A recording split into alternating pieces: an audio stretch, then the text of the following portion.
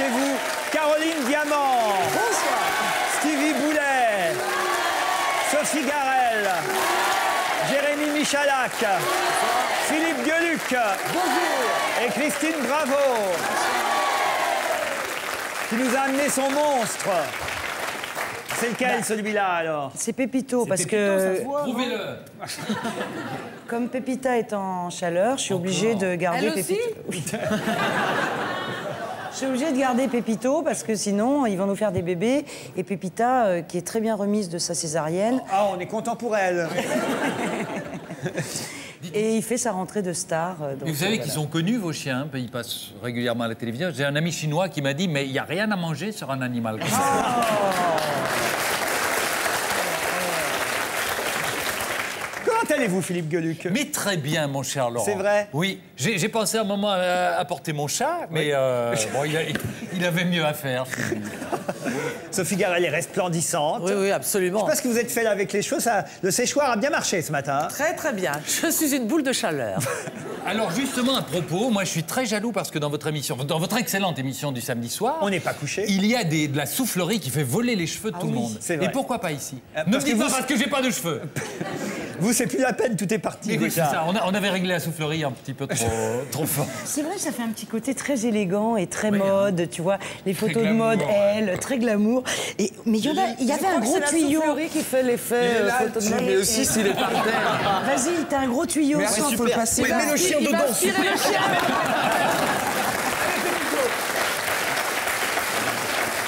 Allez, il est temps de passer à la photo du jour. Et cette photo, c'est celle d'Édouard Balladur, dont on a appris ce matin, c'était dans Le Parisien, qu'il décidait de prendre sa retraite à 77 ans. Eh oui, je sais, prendre sa retraite à 77 ans, c'est jeune, vous savez, pour un homme politique. Ça veut dire quand même qu'il nous a menti, Balladur. Il nous a menti sur son âge, parce que souvenez-vous, en 95, il disait qu'il était un ami de 30 ans de Chirac. C'était donc des conneries, il n'avait pas du tout 30 ans à l'époque. Balladur a donc annoncé qu'il ne se représenterait pas aux prochaines élections législatives. Il ne veut pas faire la course de trop, un peu comme Jeannie Longo. Il ne veut pas crever en pleine course. C'est con qu'il s'en aille quand même, Édouard Balladur. Nicolas Sarkozy avait prévu un poste pour lui au cas où il deviendrait président Sarkozy. Et oui, il aurait dû être ministre de la jeunesse et des sports, Balladur. Ça lui aurait bien été, hein Ne me plaisantez pas quand vous dites la jeunesse et les sports, parce que là, cette photo a été prise lors d'un match de basket où il vient de marquer un panier. On a des photos de lui. Si on peut nous montrer la suivante.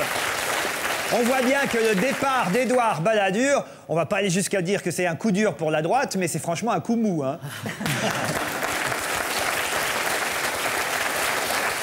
Vous parlez, vous voulez parler, c'est pas joli de se moquer du, du physique des gens. Vous savez ce qu'il va faire maintenant quand il prend sa retraite? Il va pouvoir s'adonner à sa passion, la pêche. Mais il pêche comme les, comme les pélicans, avec son grand bec, et puis il met des, il met des poissons dans, dans, dans le C'est cou. on peut pas Non. taper sur le physique. Jamais. Non, sur l'âge, oui, mais Je sais pas s'il fera de la pêche, mais en tout cas, il paraît que Lionel Jospin l'a appelé ce matin pour savoir s'il jouait au tennis. qu'ils vont ensemble, Jospin et Balladur, fonder une association des anciens premiers ministres qui se sont fait niquer au présidentiel. Laurent Fabius devrait les rejoindre dans quelques semaines. On passe à la gigantesque arnaque à la sécurité sociale révélée hier par le journal Le Parisien et qui porte sur 20 millions d'euros pour la seule année 2006. Des médecins complices délivraient, c'est quand même incroyable cette histoire, des ordonnances de complaisance à des assurés qui retiraient des médicaments en pharmacie et ensuite ces médicaments étaient envoyés et revendus dans les pays en voie de développement. En fait, c'est la création d'une nouvelle organisation humanitaire, Médecins sans scrupules. Ah oui. Il y en a quand même qui ont fait faillite avec cette affaire. hein. Ce sont des revendeurs de pilules de régime amaigrissant en Afrique, ça marche pas beaucoup. En tout cas, pour ce qui est du trou de la Sécu qui se creuse un peu plus chaque année, Xavier Bertrand, le ministre de la Santé, a dit à propos de ce trou de la Sécu que d'ici quelques années, on- devrait quand même, grâce à lui, trouver du pétrole. hein.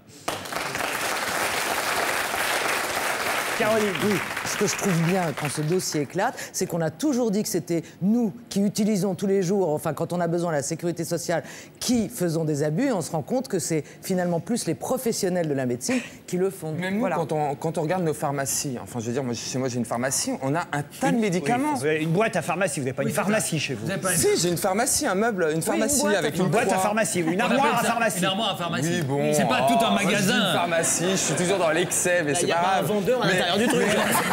C'est ça. C'est ça. D'ailleurs, il a même. Il est- Un vendeur, oui monsieur. Il a même du mal à dormir chez lui la nuit parce que la croix verte toute la nuit, c'est dur. hein. Allez, on passe à une bonne nouvelle, puisqu'un compromis a enfin été trouvé entre association et ministère de l'Intérieur pour les squatteurs de Cachan. Cachan issus de secours, titré Libération ce matin. Les expulsés de Cachan seront relogés, annonce aussi le Parisien. Nicolas Sarkozy a trouvé des villes très accueillantes pour les relogés de Cachan. Abidjan, Dakar, Bamako. Jérémy Et justement, je ne sais pas si vous savez, mais euh, l'État hésitait justement euh, en ce qui concerne le moyen de transport qu'il voulait utiliser pour emmener ces gens vers leur nouveau domicile. Alors certains ont dit euh, on peut affréter un train, d'autres se sont dit pourquoi pas un bus. Et Nicolas Sarkozy a proposé autre chose, un bel avion. Regardez, voilà, c'est la compagnie aérienne. Regardez bien, Nictam Air. Voilà.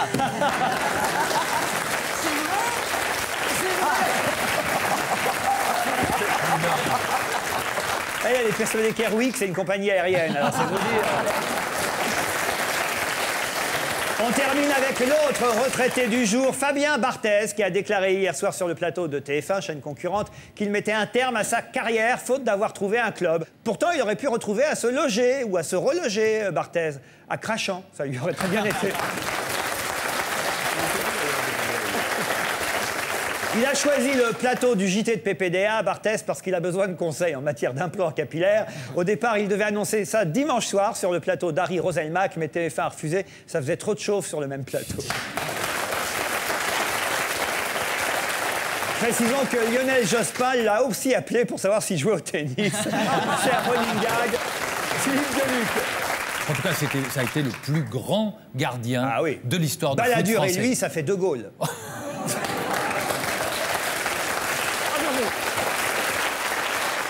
Depuis la rentrée, Zabou Bretman et Léa Drucker sont inséparables quasiment. À chaque fois que l'une monte un projet, ben, l'autre n'est jamais très loin. La preuve, mercredi prochain sortira L'homme de sa vie, un film, le nouveau film, le deuxième film de Zabou euh, Bretman. Et, et on retrouvera à l'affiche, justement, à côté de Charles Berling et Bernard Campan, Léa Drucker. Et puis, autre exemple, la pièce d'Emmanuel Marie intitulée Blanc au théâtre de la Madeleine. Elle se joue cette pièce depuis le 15 septembre dernier. C'est Zabou qui a signé la mise en scène. Et sur les planches, qui on retrouve aux côtés d'Isabelle Carré? Eh bien encore Léa Drucker. Une double actualité commune. Voilà pourquoi on les accueille toutes les deux. Léa Drucker et Zabou Bretman.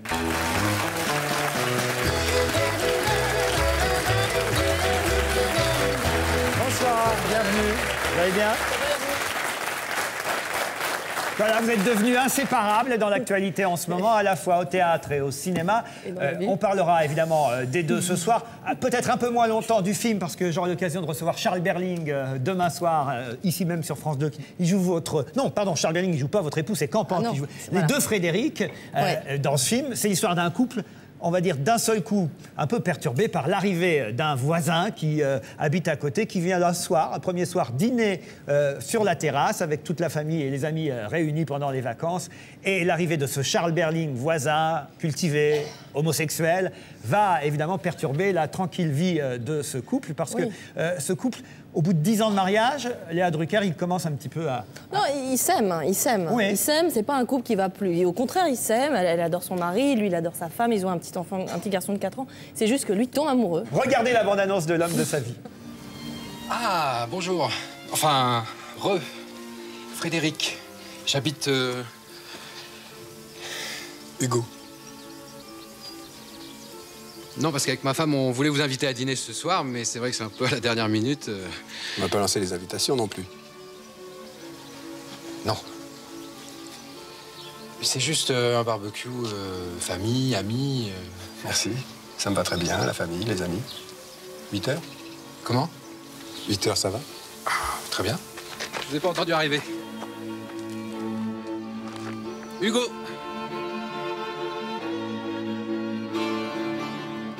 Merci. L'homme de sa vie, un film de Zabou euh, Bretman qui sort mercredi. Écoutez, je l'ai vu, je vais dire, c'est un très très beau film. Très bien joué, vous êtes tous les trois formidables. Léa Drucker, moi je vous découvre de, film en film. Je vous avais déjà adoré dans le rôle de cette prostituée dans les brigades euh, du Tigre. Vous étiez incroyable. Là, vous êtes étonnante parce que votre rôle, évidemment, est un peu plus effacé, plus observatrice. Mais, mais quand même, euh, on sait que c'est parfois ces rôles-là les plus durs et les plus difficiles à, à jouer. Vous faites passer tellement de sentiments que vous êtes vraiment formidable. Euh, et puis, alors, je suis pas le seul à avoir vu ce film. Caroline Diamant aussi, elle va vous en parler. Caroline.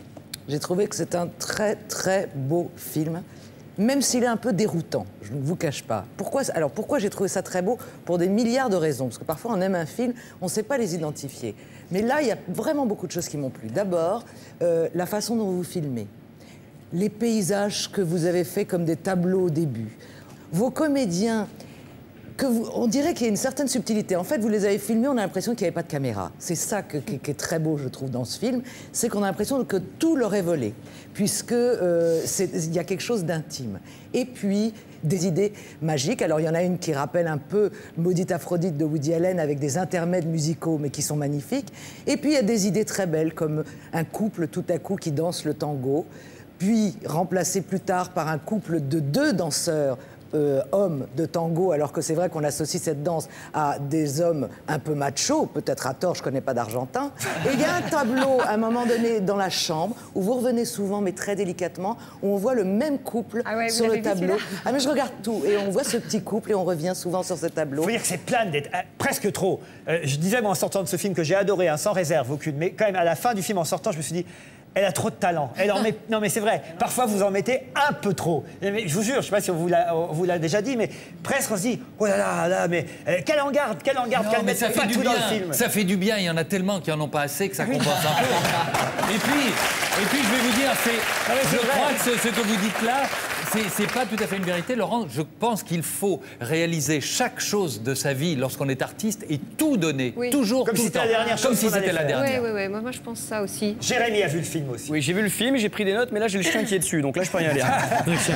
non, j'ai trouvé, j'ai trouvé que c'était un très beau film qui traite d'un sujet qui est délicat, mais que vous arrivez à aborder quand même avec beaucoup de tendresse, avec de la poésie, du romantisme et avec beaucoup d'amour. Et puis surtout, il y a cette histoire centrale et troublante qui est l'histoire de cet homme qui est un peu monsieur tout le monde, Bernard Campan, en- qui n'importe qui peut se reconnaître au final, et qui petit à petit perd tout le désir charnel qu'il a pour sa femme, jusqu'à ce qu'il n'arrive même plus à lui faire l'amour et qu'il préfère la nuit aller mater le voisin d'en face qui se baigne tout nu dans la piscine. Et le malaise intérieur que vit Bernard Campan dans le film, je pense sincèrement que n'importe quel hétérosexuel mâle qui va voir le film va vivre le même malaise. C'est-à-dire qu'il va forcément, et moi le premier, se poser la question et se dire tiens, si ça m'arrive un jour, qu'est-ce que je vais faire? Oui, parce que rien n'est exclu. Et Il y a des gens alors, on qui. peut avoir la réponse là ce soir Mais ben non, mais moi-même, je ne l'ai pas. Vous êtes rencontrées toutes les deux, je crois, euh, euh, j'ai cru lire ça dans, dans- dans la presse, euh, enfin, appris à, à vous connaître un peu plus parce que l'une euh, mettait en scène la pièce que jouait Isabelle Carré, euh, d'après euh, Topor, c'est bien ça, euh, que vous aviez mise en scène Zabou. Et, et dans le même théâtre, à la séance d'avant, à 19h, vous, Léa Drucker, vous jouiez aussi. Charing Crossroad, voilà. Voilà, et vous on, êtes est- on se croisait, on se croisait. voilà. Et quand, quand, quand, quand- voilà, quand j'ai pensé elle, et j'ai dit, bah, c'est elle, c'est sûr. Parlons théâtre aussi, puisque Léa Drucker est sur scène, aux côtés d'Isabelle Carré, justement. Alors, décidément, c'est une histoire de famille, parce qu'Isabelle Carré, vous l'avez fait jouer aussi dans votre premier film, qui était superbe. Déjà avec Campan, d'ailleurs, c'était ce souvenir de- des belles choses, c'est ça, ma mémoire est bonne. C'est pas vous qui avez écrit la pièce, vous la mettez en scène, euh, Zabou, cette pièce, Marie. Blanc, l'auteur. Emmanuel Marie. C'est au théâtre de la Madeleine. Isabelle Carré et Léa Drucker sont réunis dans Blanc. Philippe Gueluc, vous êtes allé à la Madeleine. Je rêve d'aller voir le, le film. Je ne l'ai pas vu. J'ai vu la pièce et j'avais vu votre premier film Zabou et je vous connais beaucoup pour vous avoir vu au, au cinéma. Je suis allé voir la, la- la pièce. Il y a un truc que j'ai moins aimé, c'est la pièce elle-même. Euh, je trouve que l'écriture est, est- est très poétique, très écrite, très un peu trop écrite. Mais en revanche, la mise en scène, et puis vous, enfin les deux comédiennes sont magnifiques, mais puisque vous êtes là, euh, Léa, je vais vous dire, vous êtes absolument exceptionnelle. Je suis aussi votre parcours depuis longtemps, et je sais que ça ne doit pas être facile de, de faire partie de la famille de gens très connus. La meilleure preuve, c'est que quand Michel Drucker m'a appelé un jour pour me demander de participer à l'émission du dimanche soir, il s'est présenté, je ne voyais pas bien qui c'était. Et à un moment, il a insisté, j'ai dit quoi Vous êtes l'oncle de Léa Drucker? Alors là, j'ai dit, si c'est comme ça, je signe les yeux fermés parce que dans la famille, vous devez être formidable. J'ai tellement d'admiration pour elle. Et ça, ça c'est- absolument vrai. Et hier soir, j'en ai eu la confirmation éclatante. Vous, vous, vous m'avez bluffé. Vous avez d'abord un potentiel d'émotion, ce qui, dans, dans- dans- dans la pièce, qui raconte tout de même la rencontre de deux sœurs euh, dans, dans- dans la maison familiale, là où la maman va mourir. Et au-delà de l'émotion qui est évidente, puisque c'est un, un des grands moments tragiques de nos existences euh, à tous, on sent ce potentiel comique qui est en vous. Euh, parce que jamais vous. Je veux dire, la pièce n'est pas drôle. La pièce est, est- est lourde de sens, elle est profonde, elle est poétique. Mais je sens qu'il y a en vous.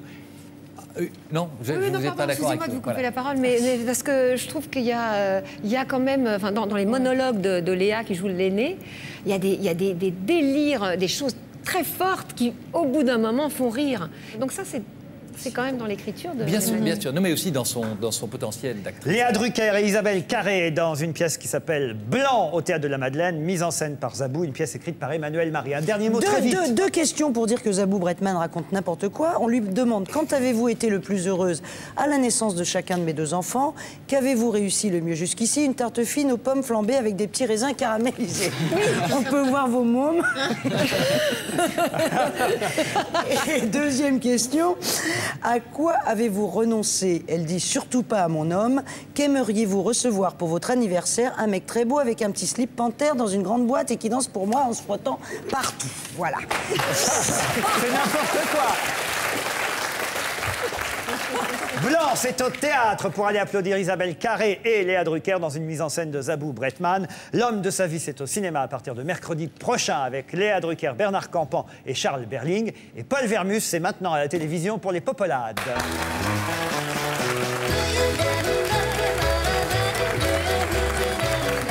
Bonsoir Paul.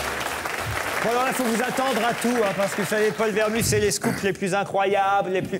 des choses que vous savez peut-être déjà, parfois pas. Enfin, les indiscrétions de Paul Vermus. Et on commence par Ségolène Royal. Qu'est-ce que vous savez de nouveau? Ne vous avais-je pas dit que Ségolène Royal remporterait le prix de l'humour politique? Rappelez-vous. C'est vrai. Et elle l'a gagné. Et qu'est-ce qu'on fait là? On applaudit, messieurs. Ah, ça marche.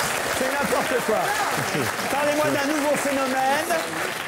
Il paraît que circulent les pétitions les plus incroyables en ce moment. Alors parmi les, pétitions qu'on trouve, il y a une foule de pétitions. Il y a une pétition euh, en faveur de l'attribution du prix Nobel de la paix à la pouffe euh, de Hollywood, alias euh, Paris Hilton. Attendez, le prix Nobel de la paix pour Paris Hilton. Oui, voilà, non, mais c'est une des- blague, ça. Mais c'est d'une blague. Toutes ces pétitions sont absolument délirantes. Il y a une pétition pour que Miss France remplace Claire Chazal aux 20h. Il y a une, non, mais c'est vrai. Il y a une pétition pour que le, pour, pour demander la retraite du boucher euh, milanais euh, Maserati. Il y a une pétition. Maserati. Maserati, c'est Ouais. une marque de voiture. C'était un test, c'était un test pour voir si vous m'écoutiez. Et là, je vois que vous m'avez écouté Paul, avec Paul, une Paul, certaine. Paul, il paraît qu'il y a une pétition, une pétition pour mettre Pépito à ta place. Alors, tu l'as toi, vu petit celle-là ou pas bonhomme.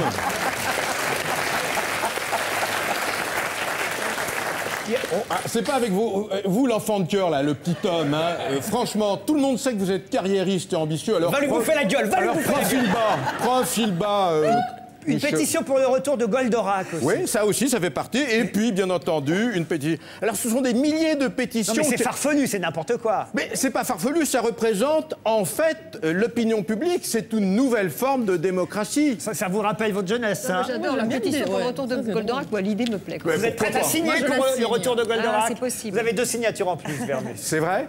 Magnifique. Autre chose, les Français les plus riches. Voilà. Alors le journal Forbes euh, s'amusait à donner chaque année.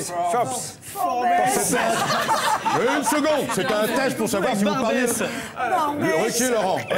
Oui, Vermus Paul. C'était un test pour savoir si vous parliez l'anglais. Vous voyez, Bah vous, vous avez fait des tout petits progrès. C'est long, mais ça vient. Alors, les Français les plus riches. Alors bon, euh, en France, attendez, on va jouer. Le Français le plus riche en France, c'est. Laurent Eh ben. Non, non. Non, non, non. C'est non, non, non, loin de là, loin de là. Paris, Paris.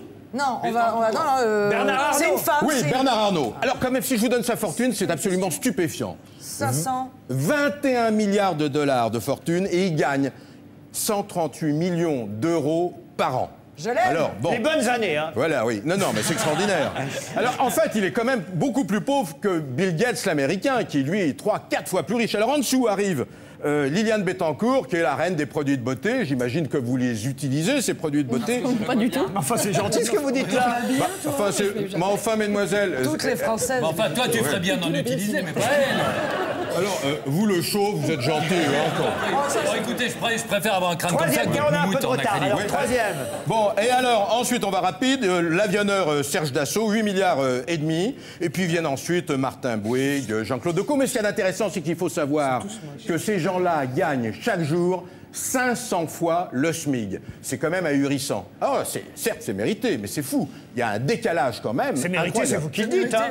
On gagne jamais d'argent par hasard. On peut gagner beaucoup d'argent, honnêtement. Mais c'est vrai qu'il y a beaucoup d'héritiers dans la liste que je vous ai donnée. Allez, avec 15 jours d'avance, vous allez nous donner la liste des célébrités qui vont entrer dans le Quid 2007. Oui. Alors bon, pour les aristofauchés, c'est le bottin mondain.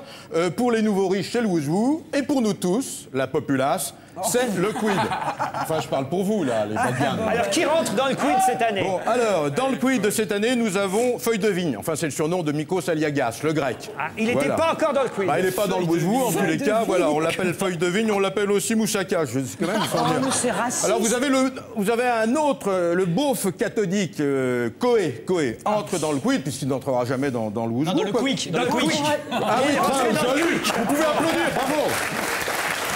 Tu vas griller d'une demi-seconde. Alors ensuite nous avons le Chippendale du 20h, euh, Roselmack, qui rentre dans le, dans le quid, qui lui rentrera aussi. Non, dans le Quid. Calmez-vous laissez-moi travailler en paix, s'il vous plaît. Qui d'autre? Alors, ensuite, nous avons euh, Yvan Le Bolloc. Mais alors, c'était curieux, Yvan Le Bolloc sans Bruno Solo. Alors, je ne sais pas pourquoi. Parce que peut-être Bruno Solo y était déjà, lui, non? Oui, peut-être une juste remarque que vous venez de faire. Et ou puis une Solo grosse... travaille peut-être plus en duo. Bon, et puis alors attendez, c'est intéressant. Il y a, il y, a, il y a Richard Attia, bien connu de la place Beauvau, publicitaire célèbre, qui a eu des aventures euh, l'été dernier, l'année dernière, qui rentre dans, dans le quid, en même temps qu'une très jolie top modèle, un peu poudrée certes, qui est Kate Moss. Poudré, moi, Voilà. j'ai bien compris. Et Diams, vous avez oublié Diams Ah, Diams, la boulette, absolument, mais vous savez tout, vous Ah, dites donc, vous êtes vachement bien Ah bah informé. oui, forcément, c'est moi qui vous donne les infos. Oh non, ne me refaites pas. euh, vous êtes bien content d'utiliser La le boulette, c'est une chanson. Allez, c'était Paul Verlu, c'est les Popolades. Merci, Paul.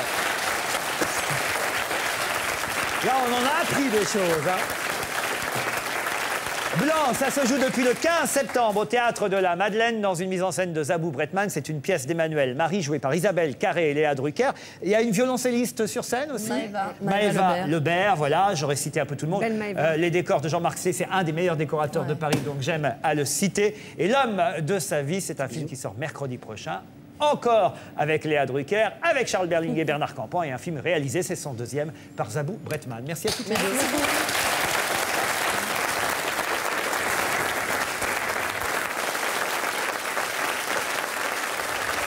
Demain soir, dans la nuit de samedi à dimanche, se déroulera la cinquième édition de la Nuit Blanche, un événement culturel désormais bien connu des habitants de la capitale et qui chaque année s'exporte un peu plus, puisque Rome, Bruxelles ou encore Montréal fêtent eux aussi maintenant leur Nuit Blanche. Plus d'un million de personnes sont attendues dans les rues de Paris ce week-end pour venir découvrir les nombreuses installations d'art contemporain qui décoreront les places, les rues, les monuments de notre ville lumière. L'événement s'appelle la Nuit Blanche, mais vous pourrez dormir quand même si ça vous intéresse pas. C'est la grande différence avec la fête de la musique qui fait un peu plus de bruit, mais ça marche aussi très fort, la Nuit Blanche. Et pour en parler, on va accueillir tout de suite l'adjoint au maire de Paris à la culture et créateur de cet événement culturel, Christophe Girard.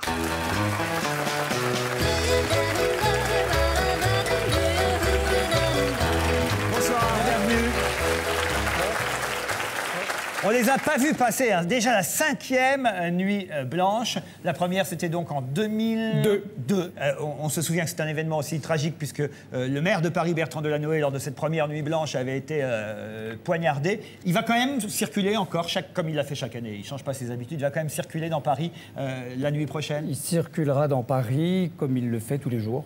Ne dites pas où. Non. Mais il sera protégé cette fois quand même. Il est protégé, oui. oui. Alors qu'est-ce qu'on va voir demain soir dans Paris? Pour ceux qui ne regarderaient pas, on n'est pas couché sur France 2. Ah, vous, allez, vo- vous allez voir beaucoup de choses. hein, et vous allez voir euh, la Concorde, l'obélisque, dont rêvait Yves Klein en 56. tout bleu Illuminé en bleu. Voilà. Vous vous souvenez qu'Actop avait mis un préservatif rose aussi. Oui, oui, oui. Donc, dans un autre genre, c'est la culture. Donc Comme vous ça, on va voir. Voilà. Voilà, mais comme ça, on l'a vu. oui, mais de le voir en vrai, ça n'est pas la même chose. J'imagine. Donc, j'encourage les côté- Parisiens à aller le voir. Il y a un côté grand schtroumpf qui est très impressionnant. Ça commence à 19h et ça se finit vraiment à 7h du matin Ah oui.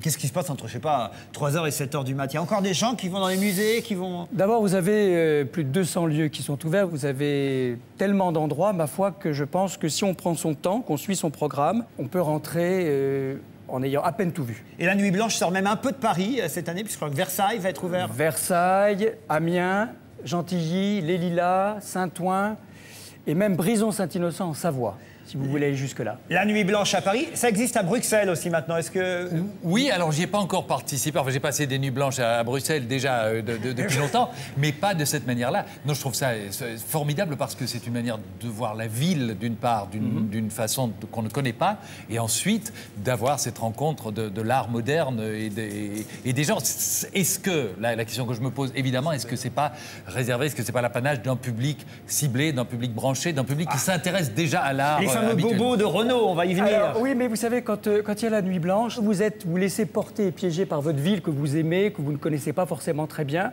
et que vous découvrez une création, eh bien le déclic marche. Et après, comme c'est gratuit, les gens y vont volontiers, ils vont en famille.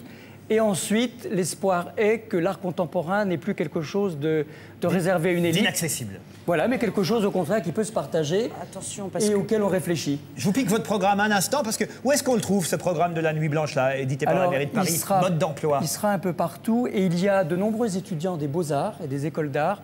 Ils sont à peu près 200, 300 dans la ville, qui sont des sortes de, de guides et d'ambassadeurs pour expliquer ce que sont les lieux. On peut trouver des sont- étudiants comme guides samedi soir. Oui, il y a des jeunes filles magnifiques, des garçons magnifiques aussi. En tout bien. cas, euh, voilà, il y en a pour tout le Il y monde. a leurs photos dans le programme Non, il n'y a pas. Photos C'est pas un calendrier. Non, c'est pas un calendrier et c'est pas les rugbymen. Christine, bravo. Ouais, moi, moi, je trouve que c'est une très jolie idée. En plus, tout ce qui peut profiter à Paris, pour moi, est comme ville d'art et ville euh, intellectuelle, tout ça, j'adore.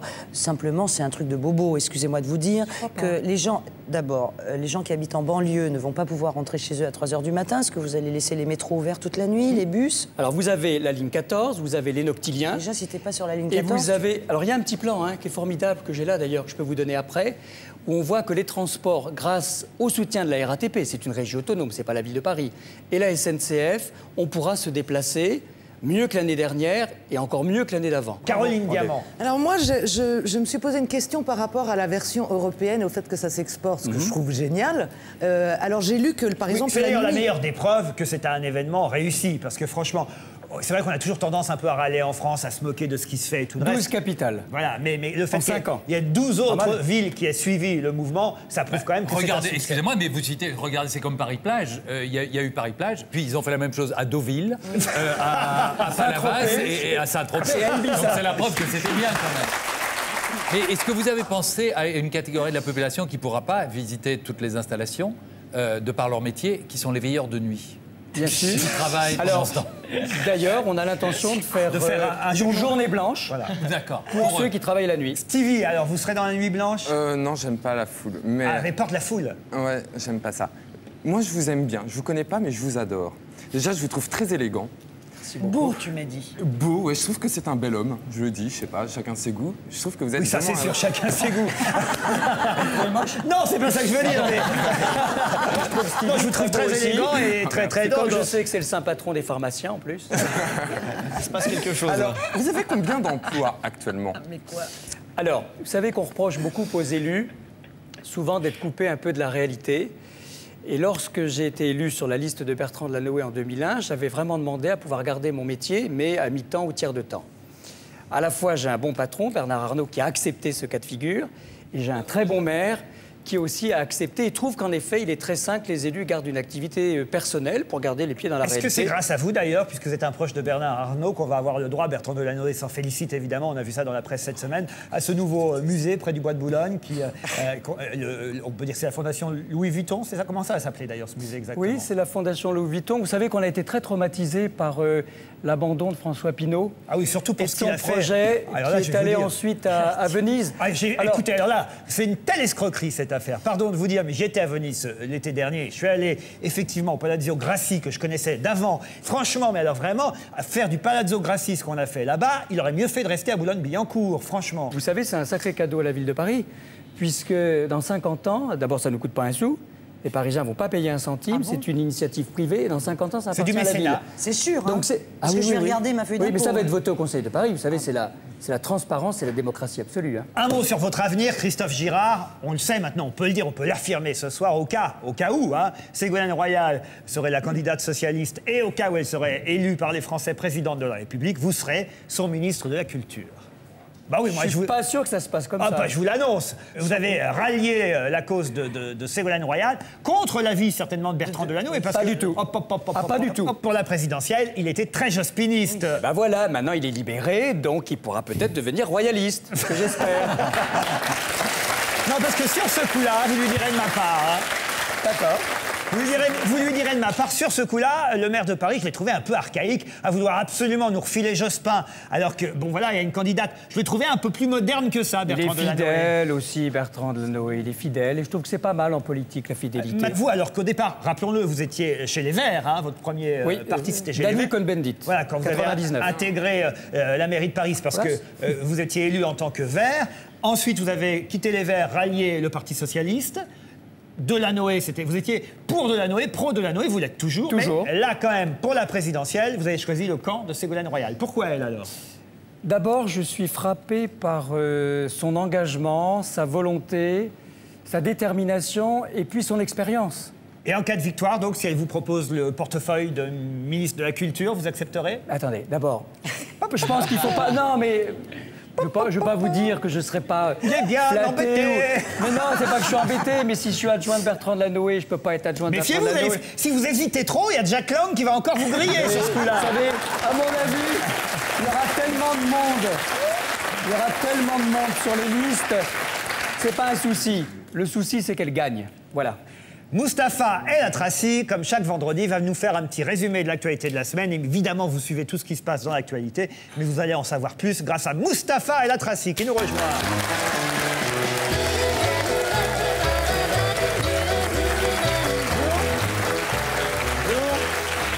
Ça commence bien. Ça commence bien. Christophe bien. Girard me soufflait. Il est super, lui. Alors, voyez Mais je suis d'accord avec vous. Vraiment. Déjà, on est d'accord. Écoutez, bah, j'ai une petite revue de presse. Je vais On commence commencer. par la politique, alors. Ça intéresse Monsieur Girard. Bah, J'en suis sûr. Alors, il y a de- comme tout le monde l'a vu euh, récemment, il y a eu une émeute en banlieue jeudi dernier, au Muro. Et pareil que les, délé- les délinquants étaient très, très organisés. hein. Ils étaient tous habillés en bleu marine, avec des gilets, des gilets pare-balles, des casques et même des flashballs. On aurait réussi à identifier le chef, hein, un petit teigneux, cheveux frisés, fils d'immigré. S'il n'était pas ministre de l'Intérieur, on aurait dit « Oh, encore un arabe !» Du sport, on en parlait en début d'émission. Barthez a annoncé sa retraite. Eh ouais, ouais, ouais, ouais. Il reviendra pas sur sa décision. hein. Il a dit, hein, moi j'arrête ma carrière, c'est juré, craché. Mais vous l'aimez bien quand même. Moi personnellement, je me moque de lui, mais je l'aime beaucoup. C'est le meilleur goal qu'on ait eu. Mais je pense que lieu d'arrêter sa carrière, il aurait dû arrêter les pénalties des Italiens. moi j'aurais préféré. Vraiment. On a vu aussi Zinedine Zidane faire une dictée à des enfants cette Ouais. semaine. Et j'ai un extrait de la dictée juste ici. Ah ouais Alors ça fait euh, oui, je crois qu'on a fait un bon match. Point. L'important c'était les trois points. Point virgule. Si tu reparles de ma sœur, je te défonce le plexus. Point final. On sait enfin, grâce à vous, paraît-il, pourquoi Harry Roselmack a quitté Canal Plus pour TF1. Bah oui, apparemment Canal Plus voulait faire présenter plus clair. D'ailleurs, d'ailleurs, il m'a. il- d'a- D'ailleurs, il m'a dit de vous, il m'a dit de vous prévenir, il fera pas la nuit blanche. Ça ne l'intéresse pas. Un cycliste qui s'est fait écraser, un cycliste de 39 ans. Ouais, il s'est fait écraser par un conducteur qui consultait un SMS. Ah, ça arrive, ça. Ouais, il paraît que sur le SMS, il y avait écrit euh, Fais gaffe.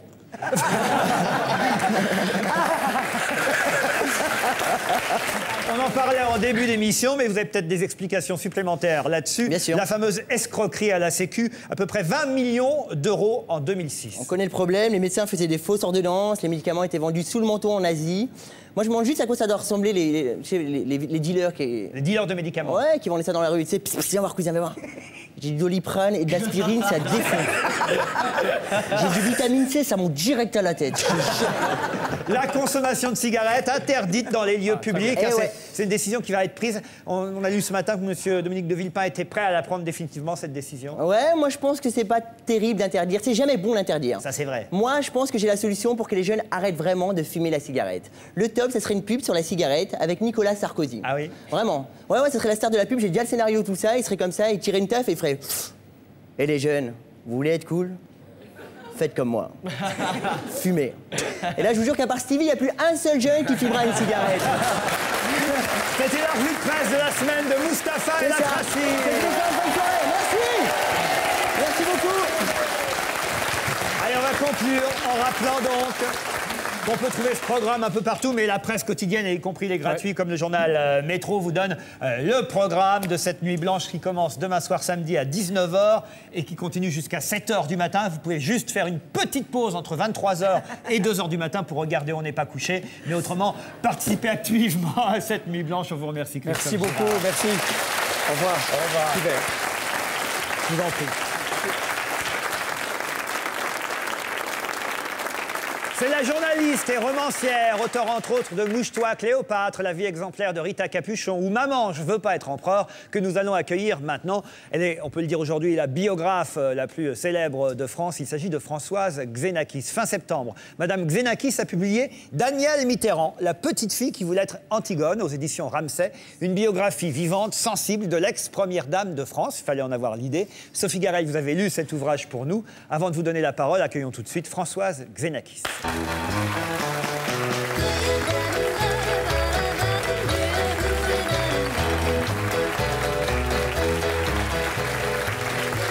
Avec toujours ces éternelles lunettes rouges. Je suis sûr que les gens vous reconnaissent toujours dans la rue grâce à ces lunettes. Il dit, je sais plus votre nom, mais vous avez des lunettes rouges. Voilà. Mais elle, grâce à ses lunettes, elle reconnaît aussi les gens dans la rue. Évi- Évidemment. Vous trouvez toujours des bons sujets pour vos bouquins. C'est vrai que maintenant, vous êtes la biographe, celle qui s'intéresse à la vie euh, d'une personnalité euh, importante, qui va romancer évidemment ce qui s'est passé. Mais, mais, mais quand même, euh, vous étudiez énormément votre sujet avant de commencer à écrire, j'imagine. Ah, je travaille beaucoup. Mais je croyais avoir fini. Oui. Mais les femmes célèbres, euh, toujours traitées comme des petites crottes dans l'histoire. Et je croyais vraiment avoir fini. Et, et on m'a mis dans les mains cette vivante qui est totalement détestée par les Français. Je ne sais pas pourquoi, une fois pour toutes, il est décidé, mais elle, elle est dans le même lot que toutes les femmes Ah ouais, d'hommes célèbres. de l'impression tout- qu'elle avait une bonne image, Madame Mitterrand. Pas en France. Pas en France. À l'étranger, oui, mais pas en France. Elle savait que vous prépariez un livre sur elle Oui, elle n'était pas hostile. Et, et puis au bout de, je sais pas, une demi-heure, trois quarts d'heure, on a ri. Elle a un langage très, très clair, très... Elle m'a dit, faites ce que vous voulez. Est-ce que vous avez rencontré l'autre veuve, Madame Pinjot? Non. Non. Ça Non. vous intéressait Moi, pas, ça Non, et puis je fais pas un livre sur Monsieur Mitterrand non plus. Oui. Je fais, Ah, oui, mais quand même, dans Oui. la vie euh, de Oui. Daniel Mitterrand. Il y a euh, beaucoup Monsieur Mitterrand. Oui, et puis l'autre dame, c'est quand même important dans sa vie. Il y a aussi. surtout Mazarine. Et, et Mazarine, évidemment. Alors, euh, expliquez-moi d'ailleurs le titre entier qui est Daniel Mitterrand, la petite fille qui voulait être Antigone, ou la petite chèvre de Monsieur Seguin. parce qu'elle est entêtée comme une mule et qu'elle sait très bien qu'elle peut perdre quelque chose, mais elle y va quand même. Et la petite chef de Monsieur Seguin savait très bien que si elle partait dans la montagne, elle serait mangée par le loup, mais elle y a été. Sophie Garel a lu euh, cette biographie, ce livre. Daniel Mitterrand, la petite fille qui voulait être Antigone. Alors, Sophie. Alors, c'est un gros livre, mais un gros livre qui se lit très facilement, grâce à Françoise Xenakis, parce que, bon, d'abord, le sujet est intéressant, ça couvre une large période, 80 ans de notre, de notre histoire de France, malgré tout. Non seulement elle écrit clairement une histoire qui est quand même assez complexe et assez lourde, mais en plus, elle se permet des petites parenthèses en disant J'abuse là, je, me- je plaisante, euh, c'est incroyable, avec un point d'exclamation. C'est assez, c'est vraiment agréable à C'est lire. vivant. Si l'histoire de France était distribuée comme ça, on serait tous capables de parler d'Henri En fait, c'est Daniel Mitterrand pour les nuls, un peu comme dans la série. Non. ah, c'est ça Alors donc, euh, Da- Daniel Mitterrand est né dans une famille euh, provinciale en 1924. C'était la dernière d'une fratrie de trois enfants. Euh, C'est la petite dernière, elle est arrivée assez tard et elle a été adorée par ses parents, une maman très tendre, euh, frères et sœurs qui l'ont beaucoup couvée, surtout sa sœur, sa sœur qui est Christine Gouze-Rénal, qui a été la femme de euh, Roger Hanna et qui est une sœur qui a été très protectrice pour Daniel Oui, Mitterrand. c'est comme ça que finalement Roger Hanna était le beau-frère de. François Mitterrand par Daniel Mitterrand interposé. Voilà. C'était pas son beau-frère direct. Alors, elle a une scolarité euh, tout à fait honorable. Elle est allée dans des écoles de curés où elle a connu aussi l'hu- l'hu- l'humiliation et quelques petits désagréments. Et très tôt, parce que c'était la guerre, elle est rentrée dans le maquis. Elle a fait partie de la résistance. Elle avait à peine 15 ans. C'était une fille opiniâtre, jusqu'au boutiste, qui savait ce qu'elle voulait, parfois un petit peu sévère, mais qui avait quelque chose dans la tête, qui voulait, qui voulait et qui avait un idéal. Il faut dire qu'elle était issue de parents instituteurs. Le père était radical socialiste et toute la famille avait déjà pris des risques. Le père a caché des des petits enfants juifs euh, pendant la guerre. Il a été révoqué de l'éducation nationale. Donc c'est vraiment, elle est vraiment dans un vivier engagé, très engagé. Bon, et puis elle a des petits flirts, elle s'amuse, elle est tout à fait, tout à fait normale. Et puis un jour, sa sœur qui est à Paris et qui euh, aussi est très impliquée dans la résistance, lui dit je vais te présenter un garçon absolument charmant. Elle avait rencontré François Morland. Morland, c'était le nom de résistance de euh, Monsieur Mitterrand. Et elle, euh, elle, elle lui dit écoute, je vais te le présenter. Il faut dire qu'elle avait rencontré ce François Morland, la sœur, dans un dîner et qu'il y avait la photo de Daniel Mitterrand hein, installée sur une commode. Et François Mitterrand regarde cette euh, jeune fille et dit c'est qui? C'est ma petite sœur. Ah, j'épouse tout de suite. Donc il était déjà, déjà très preneur. Ils se rencontrent, alors on sait tout. Qu'est-ce qu'ils ont mangé, comment elle était habillée, comment elle était coiffée, on sait tout. Elle, elle devait être sous la table, hein, Xenakis. J'étais. Ah oui, elle y était. Et donc, euh, lui, coup de foudre immédiat, elle un petit peu ronchon. Mais il se trouve que par les circonstances de la vie, il va se cacher chez les parents, qu'elle va lui donner à manger, qu'après elle va lui donner son corps. Il se marie très très vite, à 20 ans. À 21 ans, elle est déjà euh, mère de famille, elle perd son premier enfant. Et là débute euh, vraiment une destinée absolument extraordinaire. Parce qu'elle a été euh, follement amoureuse de cet homme, elle a été bafouée, trompée, mise à l'écart, mais elle avait toujours du cran et, Et du caractère. Bon. Est-ce que vous avez aimé ça? Moi, j'ai adoré ce bouquin. D'abord, euh, d'abord, c'est vrai que Daniel Mitterrand nous apparaît pour, euh, comme quelqu'un d'accessible, de touchant et d'intéressant. Et ensuite, on, on ne peut pas, euh, euh, on ne peut pas passer à côté de cette femme qui est, qui inspire le respect, parce que tant de souffrances, de mort autour d'elle, de, de tromperies, et, et- et toujours euh, un tel enthousiasme pour sauver l'autre. Ça s'appelle l'amour. Moi, je trouve que cette fille est assez formidable. Daniel Mitterrand, la petite fille qui voulait être Antigone par Françoise Xenakis. Sophie a fait ce que vous faites régulièrement à propos des autres livres. Absolument. Tenter de les résumer, essayer de donner envie de les acheter. Elle est bonne, hein? Alors, elle est meilleure que vous pas? Ah oui, oui. Ah oui. Oui, mais moi j'écris moins bien. hein. Christine Bravo-Lallier. Alors moi, je, je- je jouis littéralement de la situation de me retrouver en face de Françoise Xenakis. Il faut savoir que mes premiers papiers, je les ai faits dans le Matin de Paris quand elle était la grande critique littéraire, respectée, crainte par tout Paris. Si on m'avait dit un jour, tu vas critiquer un bouquin de Xenakis, j'aurais dit, c'est pas possible. Voilà. Alors, euh, Françoise était très très dure dans ses cri- critiques. Or donc, je vais vous dire que j'ai adoré. Mais pas du tout, parce que j'ai connu Françoise Xenakis dans ma folle jeunesse. Françoise a un talent fou pour euh, rendre chaque personnage qu'elle prend comme une copine. Ça n'est jamais une biographie emmerdante, ça n'est jamais une biographie euh, dont euh, le lecteur est exclu. On vit avec le personnage.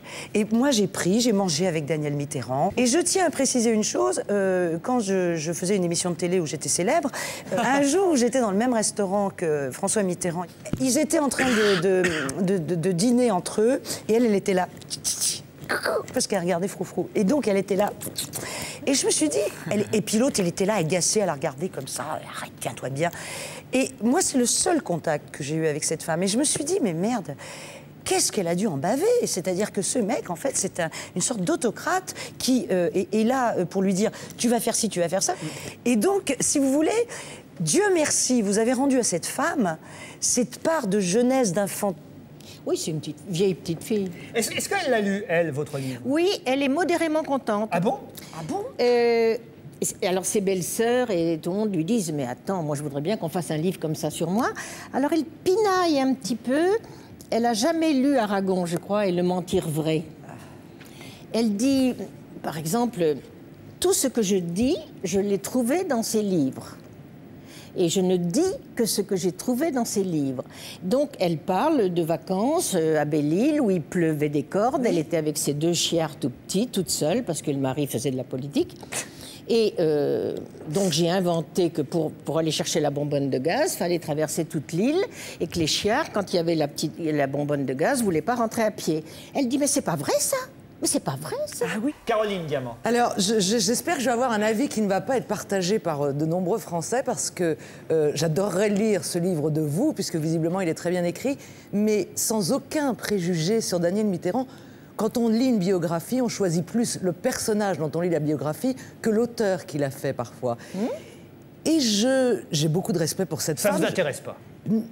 Pas aujourd'hui, je n'ai pas envie de lire. Voilà, C'est le problème des Français. Je- et c'est dommage parce que cette je- femme je- est très intéressante. Sûrement. Xenakis, tu vas pas voir un portrait de Daniel, tu vas voir Xenakis. Oui, mais tu es d'accord que quand tu décides de lire une biographie, tu, tu, tu, tu, as- tu as au départ un intérêt Oui, mais pour la cette personne. femme C'est le personnage qu'on choisit, c'est pas l'auteur. Mais oui, mais cette femme paie quelque chose qui est faux.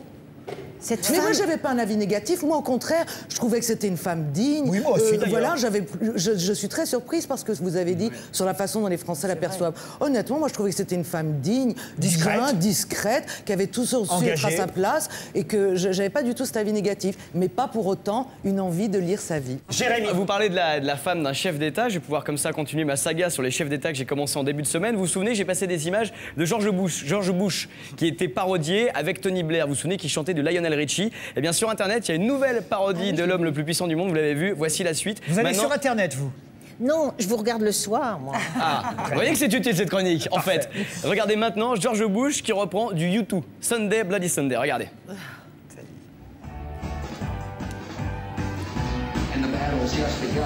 Ce sont les vraies paroles de U2 et des vraies paroles de George Bush. Il a du talent, là.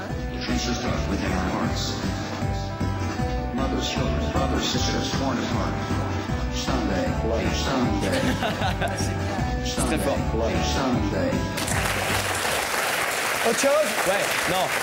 Heureusement, je vous rassure, pendant qu'il y a des gens qui s'amusent à faire les guignols avec George Bush, lui pendant ce temps, il travaille. Regardez, il est toujours à la recherche des armes de destruction massive. Ah, mais il y a comme un problème.